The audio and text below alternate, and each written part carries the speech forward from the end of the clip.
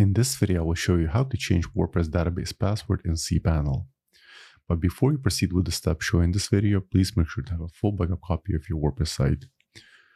Once that's done, log into your hosting account and then go to the cPanel area.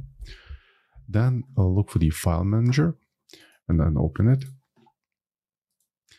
Then uh, go to the root directory where your WordPress is installed. In my case, it's uh, right within the public HTML folder. And then uh, look for the wp-config.php file. Then right click on it and select view. Now let me just drag this tab right here. Now, once you open the config file, at the very top, you should see the database name and database user.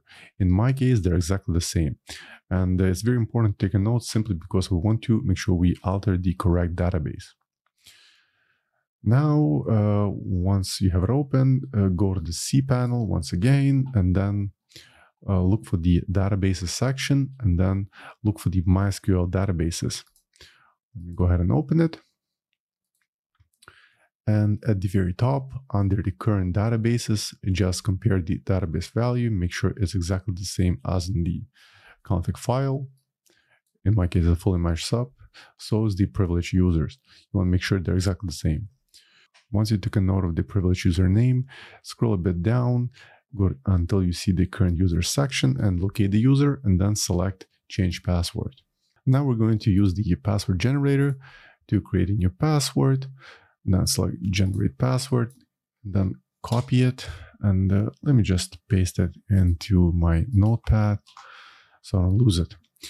Uh, then select uh, I have copied the password in safe place and then select use password and then uh, select change password.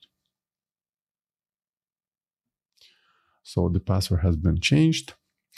Now, if you notice, if I go to my site and refresh it, there's going to be an error. Error establishing a database connection. Well, that's because we need to update the new password in the wp-config.php file. So let's go back to the cPanel.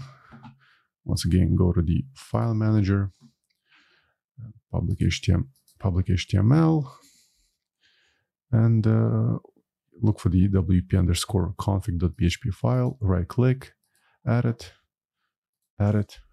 Then the very top, look for the database password section and delete the old password. It's uh, right in between the single quotes. Let's just delete it and replace it with our new password.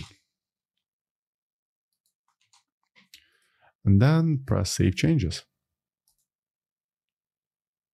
Now let's go back to the site and refresh it, and it loads just fine. So this is how you replace the WordPress database password. So as usual, I hope you found this tip helpful, and for more WordPress tutorials, please subscribe to my channel. Thank you.